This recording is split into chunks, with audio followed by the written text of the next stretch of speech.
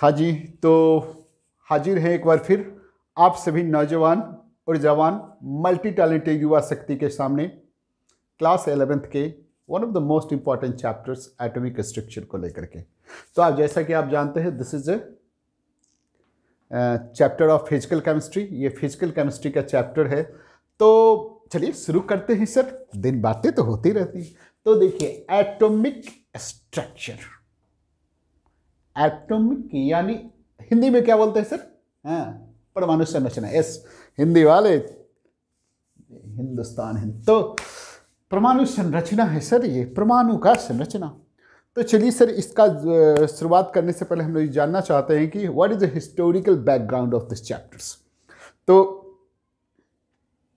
ईस्वी सन, अब 2020 खत्म हो गया सर, इक्कीस में आ गया। ठीक है सर। तो इससे, ईस्वी सन से पहले, यानी वैदिक पीरियड वैदिक पीरियड ये लगभग 1650 से इतने बीसी को हम लोग वैदिक पीरियड करें ईस्वी सन जो होता है ना से जैसे क्राइस्ट के जन्म से लगभग 600 से 1700 साल पहले को हम लोग वैदिक पीरियड कहते हैं। तो इसी किसी पीरियड में लगभग 600 के बीसी के आसपास हमारे ग्रेट हिंदू फिलोसफर हुए थे कनाथ्स कनाथ सूत्र में उन्होंने चर्चा किया है कि what is the ultimate unit of particle what is the ultimate what is the discrete वो हिंदी में बोले थे, संस्कृत में बोले थे, यानी किसी भी पदार्थ का सबसे शुद्धतम कण कौन सा है? ठीक है? और उन्होंने कहा था कि किसी भी पदार्थ पदार्थ मतलब मैटर का सबसे छोटा कण परमाणु है। उन्होंने, परमाणु शब्द, परम परम, संस्कृत का वर्ड है, उससे उन्होंने परम का मतलब है अल्टीमेट जैसे हमारे हनुमान जी, हनुमान चालीसा में परम वीर विक्रम बजरंगी, यानी अल्टीमेट परम विक्रम बजरंगी के क्या मतलब? हमारे हनुमान जी क्या है? परम है अल्टीमेट है, उनसे बड़ा कोई नहीं हो सकता। नहीं इज़ अल्टीमेट पावरफुल कौन? हमारे हनुमान जी। जी। तो इसलिए वहाँ परम शब्द का उन्होंने यूज़ किया था। ये अलग बात है कि आप जब गूगल करेंगे, कुछ करेंगे तो ये आपको देखने के लिए यहाँ से आपको दिखलाई देता है। लेकिन है सर, है ना? ये ग्रीक वाले फिलोसफर से पहले हमारे कनाद ऋषि जो वैदिक पीरियड में उन्होंने कल्पना कर किया था बल्कि आप देखिए मिलेगा आपको सर। हमको पढ़ने का मौका तो नहीं मिला लेकिन कनाद सूत्र एक बुक में आप चर्चा होगा कि वर्ड किसी भी पदार्थ का सबसे छोटा कण परमाणु है। उन्होंने परम शब्द संस्कृत वर्ड से लाए थे जैसे कि अभी हम बताया था। चलिए देन लगभग 500 सौ बीसी हम्म, यानी ईस्वी सन से वे 400 से इतने के आसपास वैदिक पीरियड के बाद ग्रीक ग्रीक भी फिलासफी में नो डाउट बहुत आगे था। वहाँ के दो फिलासफर थे डेमोक्रेटिस एंड ल्यूसिपस उन्होंने हमको लगता है कि हमारे कनाद ऋषि के बात को सपोर्ट किया। क्या कि हाँ कनाद भैया जो कहे थे, वो सही कहे हैं। ये ऐसा उन्होंने नहीं कहा था, हम कह रहे सही कहे थे। और उन्होंने क्या कहा? उस परमाणु को अंग्रेज़ी में ग्रीक वर्ड एटमोस एटमोस बोला। और वो एटमोस एटम बोला, यहाँ अल्ट यहाँ से एटम शब्द आने लगा था सर, है ना? लोग तो कहता है, डाल, डॉल्टन ने एटम से यूज़ किया था, लेकिन यहाँ से एटम शब्द यूज़ होने लगा था तो एटमोस ग्रीक वर्ड एटमोस से एटमोस का मतलब है इंडिविजुअल अनब्रेकेबल यानी उन्होंने जो हमारे वैदिक कनाद ऋषि ने कहा था, परमाणु, उसको उन्होंने केवल यही कहा कि किसी भी matter is compose of a small unbreakable particle individual particle that small particle is called atoms. किसने कहा? ये दो फिलासफर्स ने। तो चलिए, ये सब कहाँ थे? फिलासफर थे। कहाँ नहीं थे? कौन थे? फिलासफर थे। यानी फिलासफर मतलब जानते ही हैं। जो कुछ वो कहते हैं, उनके अपने आइडिया होता है। There is that idea is not based on the experimental evidence that's why they are called philosopher चलिए, इतने के बाद इन सब के बाद जब ईस्वी सन शुरू हुआ तो देखिए सर, आप सबसे पहला फिजिक्स का एक्सपेरिमेंट तो हम नहीं कर सकते, लेकिन ये एक नॉर्मल एक्सपेरिमेंट था कि यदि आप केस ऐसे ऐसे करते हैं या फिर किसी ग्लास को रब करते हैं सिल्क से तो वहाँ से इलेक्ट्रिसिटी जनरेट होता है। तो पहली बार लोगों ने महसूस किया कि यहाँ कुछ ना कुछ हो रहा है, यानी सॉलिड से पर हम किसको रब करते हैं तो सॉलिड से इलेक्ट्रिसिटी जनरेट्स होता है। तो सॉलिड जनरेट्स इलेक्ट्रिसिटी इलेक्ट्रिसिटी। और फैराडे लॉ ऑफ़ इलेक्ट्रोलाइसिस देखते हैं तो वहाँ से पता चलता है कि लिक्विड लिक्विड से इलेक्ट्रिसिटी जनरेट्स होता है। ठीक है? तो सॉलिड से इलेक्ट्रिसिटी जनरेट होता है, लिक्विड से इलेक्ट्रिसिटी जनरेट होता है, ठीक है? और उसी समय सेवेंटीन 1879 में विलियम क्रुक्स ने डिस्चार्ज ट्यूब एक्सपेरिमेंट किया और उन्होंने प्रूफ किया कि नहीं भैया गैस से भी इलेक्ट्रिसिटी जनरेट हो सकता है। क्योंकि जब सॉलिड से इलेक्ट्रिसिटी जनरेट हो सकता है लिक्विड से इलेक्ट्रिसिटी जनरेट हो तो साइंटिस्ट लोगों ने सोचा हाँ, कि गैस से भी इलेक्ट्रिसिटी जनरेट हो सकता है।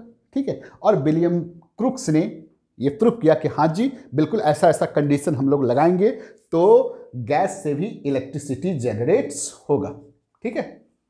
तो सॉलिड से इलेक्ट्रिसिटी जनरेट होना, चाहे लिक्विड से जनरेट होना गैस से इलेक्ट्रिसिटी जनरेट होना, ये कहीं ना कहीं इंडिकेट कर रहा था कि ये जो परमाणु को आप इंडिविजुअल बोलते हैं, ठीक है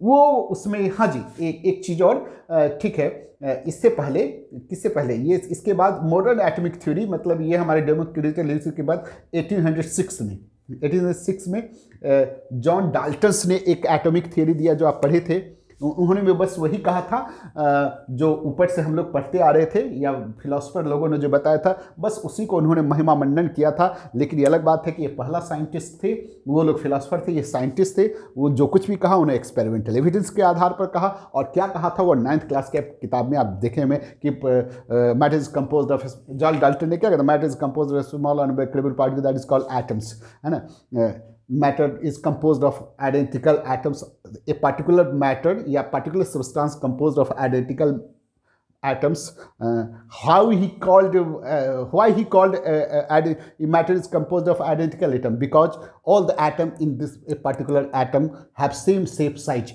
that's why उन्होंने कहा कि आइडेंटिकल एक मैटर का एटम दूसरे मैटर से डिफरेंट होता है और फिर उन्होंने केमिकल कॉम्बिनेशन में कैसे एटम कंबाइन करके सब्सटेंस या मैटर बनाता है तो ये कुछ उन्होंने दिया। लेकिन इसका मेन बात यहाँ क्या था कि जॉन डाल्टन ने भी क्या कहा था कि एटम अनब्रेकेबल है। इंडिविजुअल यहाँ के बाद जॉन डाल्टन्स के बाद देखिए, लोगों ने सोचा, क्या सोचा? वही कि ग्लास रब के बाद इलेक्ट्रिसिटी जनरेट होता है, यानी सॉलिड से इलेक्ट्रिसिटी जनरेट होता है। फायराडे लॉ इलेक्ट्रोलाइसिस से भी पता चलता है कि लिक्विड से इलेक्ट्रिसिटी जनरेट होता है। तो बिलियनसन क्रुप ने कहा क्रुप ने ये प्रूफ किया कि गैस से भी इलेक्ट्रिसिटी जनरेट हो सकता है। देन आफ्टर ये विलियमसन विलियम क्रुक्स के एक्सपेरिमेंट का एक्सटेंशन है कैथोड रे एक्सपेरिमेंट तो ये मॉडिफिकेशन है। उन्हीं के एक्सपेरिमेंट को आगे बढ़ाए थे आई डिस्कवर्ड इलेक्ट्रॉन तो कैथोड रेज एक्सपेरिमेंट पता है उससे इलेक्ट्रॉन का discovery anode rays experiment radioactivity का discovery cosmic rays experiment bombardment of alpha particle on beryllium and metal experiments. All these experiment firstly concluded, firstly क्या? All these experiments के द्वारा अलग अलग एक्सपेरिमेंट के द्वारा अलग अलग पार्टिकल्स का डिस्कवरी हुआ और सब ये all these experiment prove that नहीं भैया एटम अल्टीमेट नहीं है और सभी पार्टिकल होता है इसके अंदर। क्या होता है? तो वही हम लोग को पढ़ना है। क्या पढ़ना है? कि कैसे कैथोड से इलेक्ट्रॉन का डिस्कवरी हुआ एनोड से प्रोटॉन का डिस्कवरी हुआ बम्बार्डमेंट वाले से ये जो बम्बार्डमेंट ऑफ़ अल्फ़ा पार्टिकल और बेरिनियम या फिर लिथियम एक्सपेरिमेंट का नाम है, जिससे न्यूट्रॉन का डिस्कवरी हुआ। वैसे तो इसमें पॉजिट्रॉन है न्यूट्रीनो है पॉजिटिव में और निगेटिव में बहुत सारे पार्टिकल का डिस्कवरी हुआ। All which experiment perform by different scientist in different time and all this experiment concluded या prove that atom can subdivided into subatomic particles तो ये सब में हमको अपने काद के हिसाब से, अपने सिलेबस के हिसाब से और आपकी ज़रूरत के हिसाब से क्या करना है, पढ़ाई करना है। तो चलिए, ये सब इंट्रोडक्टरी क्लास के बाद हम लोग अब देखेंगे कैथोड रेज एक्सपेरिमेंट क्या है। चलिए, लिखिए। हाँ तो मेरे होनहारों, ऐसा है कि कैथोड रेज एक्सपेरिमेंट में क्या हुआ? देखिए, ये ग्लास ट्यूब है, ये ग्लास ट्यूब है, सब मिलजुल के काम किया था। विलियम क्रोक्स जे थॉमसन सब। देखिए, क्या है ये? ये ग्लास ट्यूब है। ग्लास का ट्यूब है जिसको आप डिस्चार्ज ट्यूब भी कर सकते हैं, क्योंकि ग्लास पर कौन सा चार्ज होता है? जी हाँ।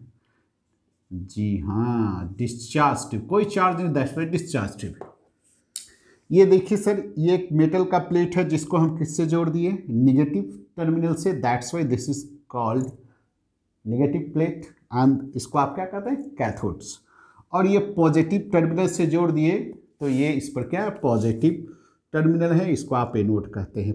कैथोड और एनोड का क्या मतलब है सर इस पर क्या है?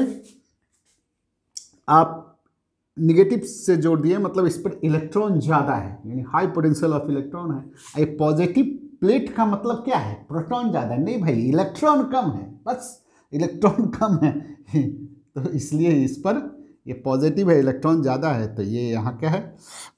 ये निगेटिव है। तो देखिए सर, यहाँ क्या क्या हुआ? इसके अंदर ये देखिए गैस लेना है, ठीक है? गैस। हम्म। यानी गैस लेना है और हाई वोल्टेज देना है, ठीक है? ये दो इलेक्ट्रोड के बीच में ये गैस है। गैस गैस का प्रेशर हम देखिए चेंज करेंगे और हाई वोल्टेज देंगे। हाई वोल्टेज देंगे और गैस का प्रेशर क्या करेंगे? तो देखिए सर क्या क्या हुआ? केस थ्री केसेज है यहाँ। केस वन में, ठीक है? आपको क्या करना है? देखिए sir, low pressure low pressure maintain करना है। लो प्रेशर मेंटेन आपको नहीं करना है, वो किए थे, आपको केवल याद रखना है। Low pressure and high voltage high voltage उन्होंने मेंटेन किया था। हाई वोल्टेज ये फिक्स, देखिए, टेन थाउज़ेंड वोल्ट ये उन्होंने दिया था। तो लो प्रेशर का जो केस है, इसको आप देखिए, थोड़ा सब समझ सकते हैं। केस वन कहता है, जब आप वन एटीएम ठीक है at one a one atmospheric pressure one atmospheric ferric pressure जब यहाँ मेंटेन किया गया जानवे करते हैं कितना है ये? इतना M M of H G ठीक है सर? और वोल्टेज वही हाई वोल्टेज तो इस प्रेशर पर, इस प्रेशर पर कुछ नहीं हुआ। वोल्टेज दे रहे हैं। कुछ हो रहा कुछ नहीं हुआ। न कुछ दिखाई दे रहा है, न कुछ हो रहा है। कोई हलचल नहीं है। ये बुनका बुनका कुछ नहीं है सर। ये हम तो दिखा रहे यानी नो करंट फ्लो। कोई करंट फ्लो नहीं किया, कोई कलर नहीं है, नो एनी कलर कलर इसमें कुछ नज़र नहीं आ रहा है। ठीक है सर?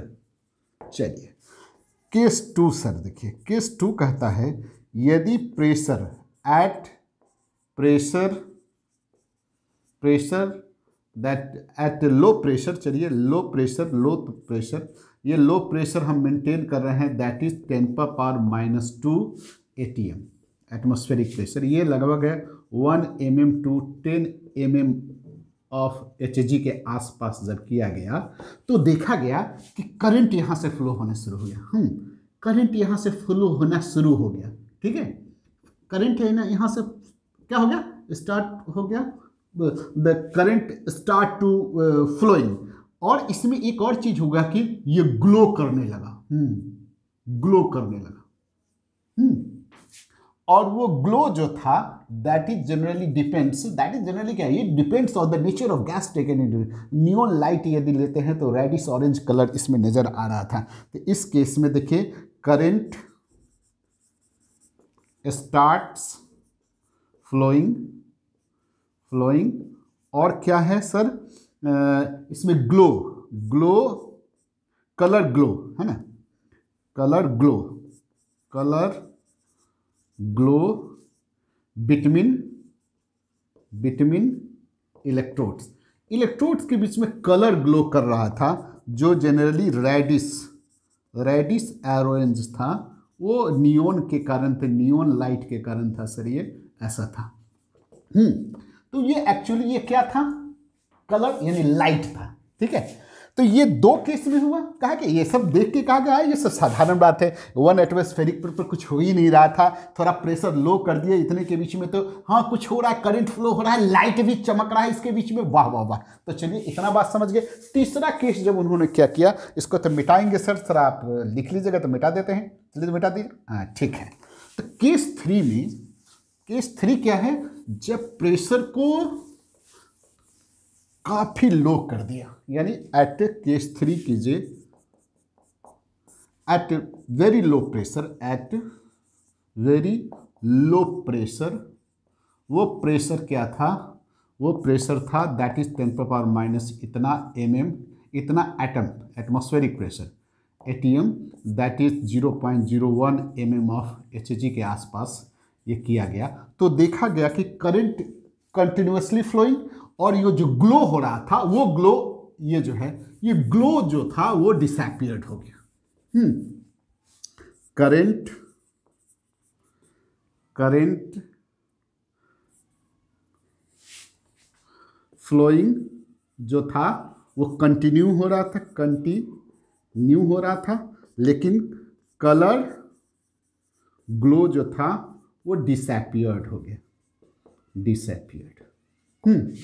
और यदि इसके जगह पर ये कैथोड यदि क्या कीजिए कि आप परफोरेटेड ले लीजिए, है ना?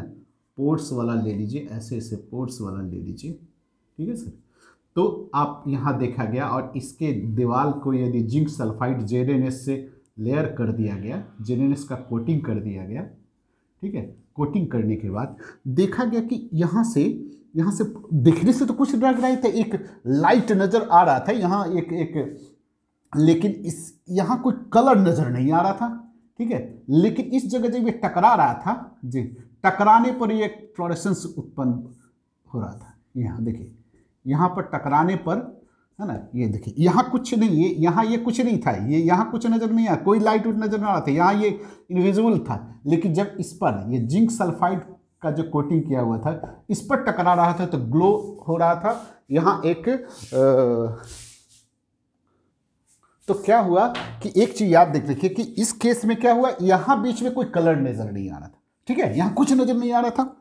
लेकिन इस जगह जब ये ये जो जिंक सल्फाइड का लेयर किया हुआ है जिसको फ्लोरेसेंस स्क्रीन भी आप कर सकते हैं तो यहाँ वो ग्रीनिश ग्लो मतलब ये ग्रीनिश कलर का ग्रीनिस ग्रीनिश ग्लो यहाँ नज़र आ रहा था, यहाँ, इस बाल पर। यहाँ कुछ नहीं आ रहा था, जान लीजिए। ये तो इसको, किसको? यहाँ जो इनविजुअल रेज निकला, कहाँ से निकला? कैथोड रेज से निकला। इसी को उन्होंने क्या कहा? कैथोड रेज का। ठीक है? तो क्या हुआ? At a low pressure and high voltage when maintain in discharge tube then invisible rays emerge from the surface of the cathode and which passes the pores of anode and strike to the wall of glass tube produce uh, glow glow produce phosphorescence कर सकते हैं। Glow on the wall of glass tube और what is the colour of this glow that is greenish glow ठीक है? और इस invisible raise को क्या कहा गया? कैथोड रेज कहा गया। तो चलिए ये आप समझ गए कि क्या हुआ सो। अब जरा देखिए इसको मिटाएँगे हम। अब सवाल ये उठता है सर कि ये कहाँ से बना और कैसे बना? ठीक है? इसको थोड़ा सा आप समझ लीजिए। यानी ओरिजिन कैसे हुआ होगा? ठीक है? ये ओरिजिनेशन कैसे हुआ होगा? से देखिए। यहाँ से ये ग्लास ट्यूब से, देखिए, यहाँ से ये इलेक्ट्रॉन आया होगा। यहाँ से देखिए, इस मेटल प्लेट में देखिए, ये मेटल प्लेट में क्या है? एटम्स है। देखिए, ये एटम्स है, ये एटम्स है। इसमें इलेक्ट्रॉन्स है, देखिए, ये इलेक्ट्रॉन्स है। इधर से जब आप, इधर से जब इलेक्ट्रॉन आता होगा तो यहाँ जो इसके इलेक्ट्रॉन है, ठीक है? इस इलेक्ट्रॉन को क्या करता है? स्ट्राइक करता है। ये इलेक्ट्रॉन सब यहाँ से निकलता होगा ये मेटल सरफेस से। ये आपका क्या है सर? कैथोड का प्लेट है, यहाँ से निकलता होगा। तो यदि यहाँ, देखिए ये ग्लास टिप है ग्लास टिप हम इसके में, ये हम ये बनाए हैं, यहाँ ये बनाए यहाँ यदि बहुत सारा एटम होगा, ये बहुत सारा डेंस स्थिति रहेगा, पूरा डेंस रहेगी एटम होगा तो ये इससे टकराएगा, टकरा करके क्या होगा यहाँ? इधर इधर कहीं स्कैटर्ड हो जाएगा, कहीं कुछ नज़र नहीं आएगा। लेकिन यदि लो प्रेशर होगा लो प्रेशर होगा मतलब एटम कहीं यहाँ होगा, कहीं यहाँ होगा, कहीं यहाँ होगा। तो इस, जब ये यहाँ से मूव करेगा, जब मूव करेगा तो इसका काइनेटिक एनर्जी भी तो बढ़ जाएगा। Kinetic energy get increases increase कर जाएगा इंक्रीज कर जाएगा। और ये हाई काइनेटिक एनर्जी वाले इलेक्ट्रॉन इस गैसियस एटम से टकराएगा और यहाँ से भी इलेक्ट्रॉन क्या करेगा? निकाल देगा।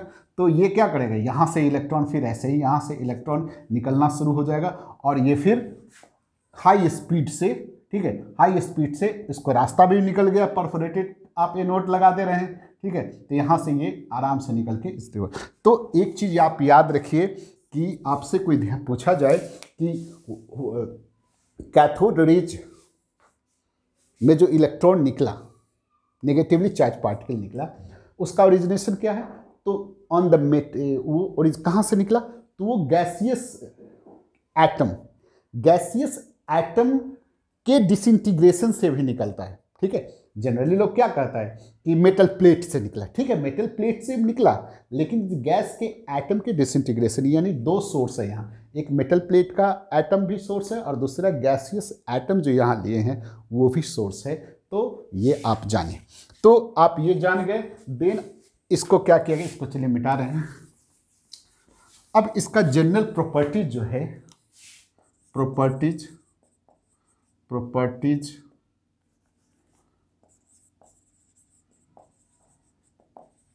of cathode rays cathode rays का प्रॉपर्टीज़ आप जानते हैं कि यदि इसके travel in straight line path यानी इसके रास्ते में यदि आप कोई सॉलिड बनी रख दीजिए तो उसका जो सैडो बनता है वो साइडों के पोजीशन से पता चलता है कि it travel in straight line path travel in straight line path straight path straight path में जाता है।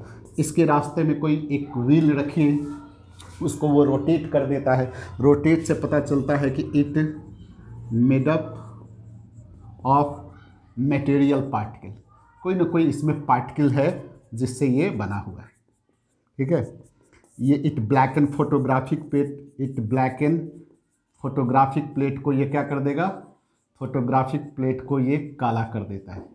ठीक है? It generate it generate X-rays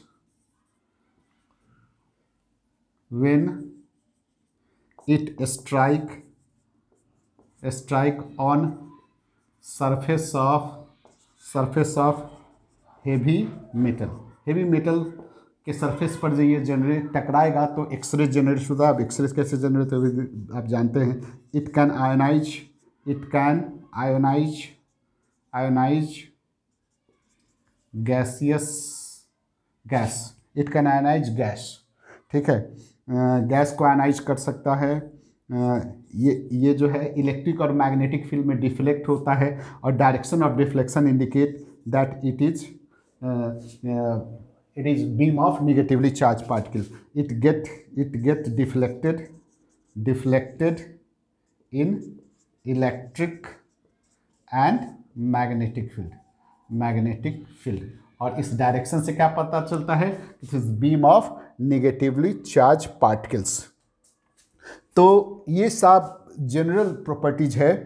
फिर आप इसका कहते हैं कि इट्स वेलोसिटी इसका जो स्पीड होता है speed the speed of this cathode rays is one tenth of velocity of light it it's speed is about about one by tenth of velocity of light या वेलोसिटी स्पीड या velocity velocity इसका जो है, वो light की velocity का इतना तो ये एक सिंपल बात है जो आप नाइन्थ एथ में ही पढ़ें। ठीक है? अब इसमें क्या कहता है कि cathode what is cathode this is the beam of negative charge particle ये नेगेटिव चार्ज पार्टिकल का बना हुआ है। जिसको जिसको जे जे थॉम्सन ने कहा जे जे थॉम्सन ने कहा जे जे थॉम्सन के आधार पर ये निगेटिव चार्ज पार्टिकल को उन्होंने निगेटिव चार्ज पार्टिकल पार्टिकल को उन्होंने क्या कहा था? निगेट्रॉन निगेट्रॉन हम्म, और इसी निगेट्रॉन को अकॉर्डिंग टू स्टोने स्टोने ने इसका नाम क्या रख दिया? इलेक्ट्रॉन। तो the term electron coined by scientist Stoney while जो जे जे थॉम्सन उन्होंने इस निगेटिव चार्ज पार्टिकल को निगेट्रॉन कहा था। तो खैर चलिए।